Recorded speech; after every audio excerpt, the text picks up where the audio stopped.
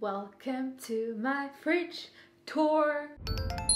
Hello and welcome back to my channel. Welcome if you're new here and you're wondering what's in my tiny little Parisian fridge. What could possibly be in my fridge? Hmm, let's find out. This is me, Amelie. I live in Paris in a small studio.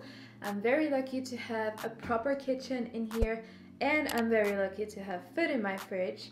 But this is also my fridge, my tiny little fridge. I am a food blogger and I make a lot of recipes, yet this is my fridge. The reason why I'm doing this video is obviously to show you what I eat and what I keep in my fridge and all, but also because at least for me, it was very hard to relate to what other people were eating when I transitioned to veganism. And I just want to show you that it's possible to eat healthy and vegan without having hundreds and hundreds of dollars in your fridge. This is by the way a very realistic fridge. I haven't gone grocery shopping before. I go grocery shopping every every two to three days and that's the gener generality for a lot of Parisian because we all have tiny fridges. I'm not the only one. Um, and yeah it's just a way of doing it and it keeps things fresh. What's in my fridge? Let's find out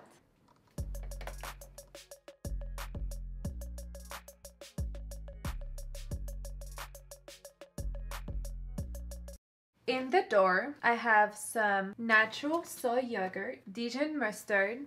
These are hemp seeds. These are flax seeds that I have grinded. If you do not keep your flaxseed in the fridge, you're missing out. No, but really, it's important to keep them in the fridge. Same thing goes with walnuts. Um, if you don't keep them in the fridge, the fat go bad really quickly and it's just not healthy to have down below nutritional yeast i usually order mine online because France don't have really good nutritional yeast.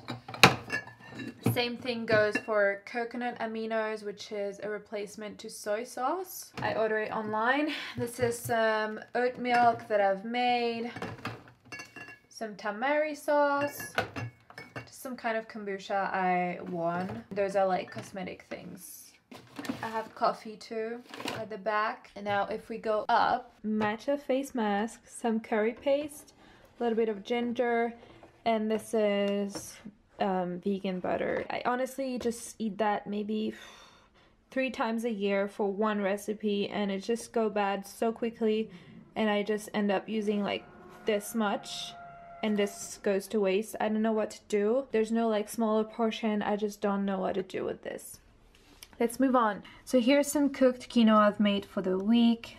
Under some roasted veggies, also for the week. These are cooked apples, also for the week. I use them to top oatmeal. I use them as dessert.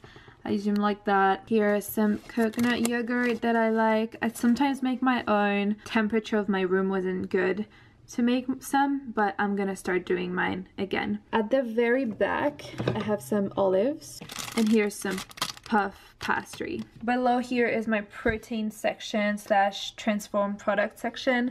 So I have some plain tofu, I have a lot like I have at the back more. Tempeh, and here are some flavored tofu that I like to use. This is smoked almond sesame. Another one I like to use is this one, garlic. It's really good although very processed. Down there are my greens. I have found this is the best way to keep them fresh. So this is kale. I have those bags. I buy them in there, in that, and then I keep that in the fridge. It keeps it really fresh.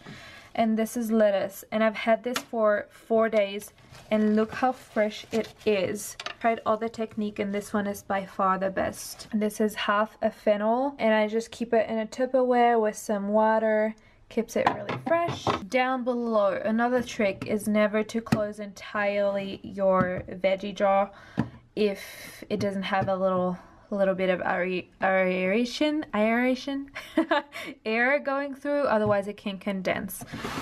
So what's in there? So I have summer veggies like pepper and eggplants, but you know what? I'm not perfect, so some broccoli in there, some cauliflower that needs to be eaten, apples, some lime. What else? Yeah, more apple, carrots.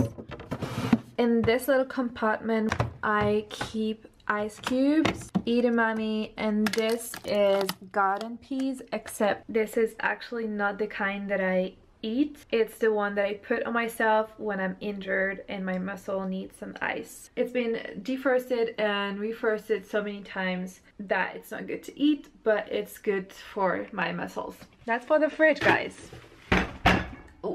I do have more fruits and vegetables. I'll show you that. In this little area here, some more things like potatoes and shallots and pumpkins. Under I have some walnuts. This is away from the light, so it's perfect. This is my fruits at the moment. We are in my living room. My freezer is in my living room because I just don't have any space in my kitchen. So let's have a look. Also it's very not eco-friendly i know and i know i need to do that okay? Just ignore that please. I have a lot of blueberries. I have one more i think at the back. Wild blueberries they're amazing. I add them to my oatmeal. Some fresh peas that i eat this time these are French, not French fries, but fries of three different vegetables.